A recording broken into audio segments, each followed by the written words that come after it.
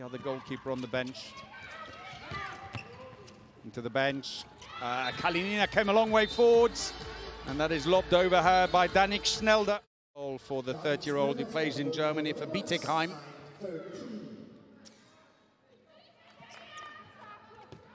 Lovely technique, Kalinina.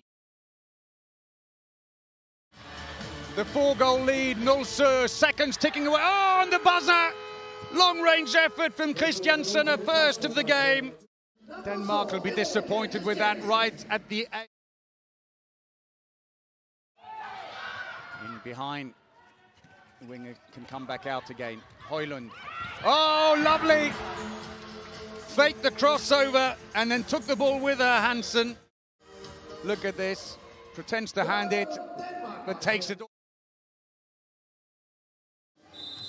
So France have five seconds. They've got to be quick here. Teeing up uh, Kouyaté, yes! Almost on the buzzer. And with that big shot.